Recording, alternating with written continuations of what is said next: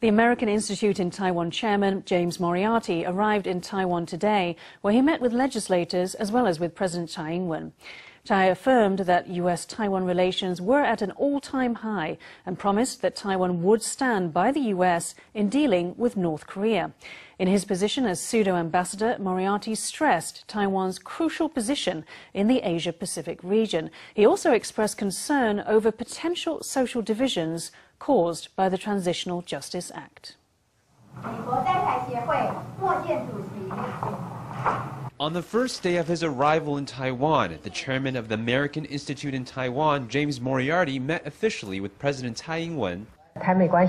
U.S.-Taiwan relations have never been better. Taiwan will continue to play an integral role in maintaining peace and stability in the region. We will also work alongside the U.S. to stabilize the situation of the Korean Peninsula.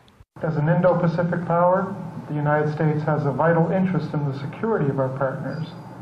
And I want to stress that we consider the security of Taiwan to be central to the security of the broader region.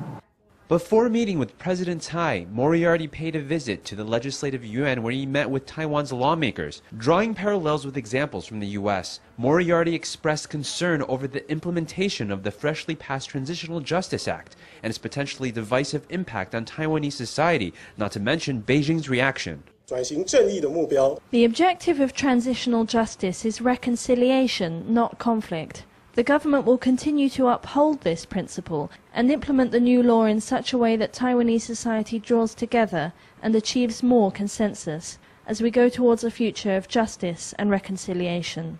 Evidently, the transitional justice movement is not just a domestic matter. As Moriarty says, the state of Taiwan is central to the fortunes of the entire Asia-Pacific region.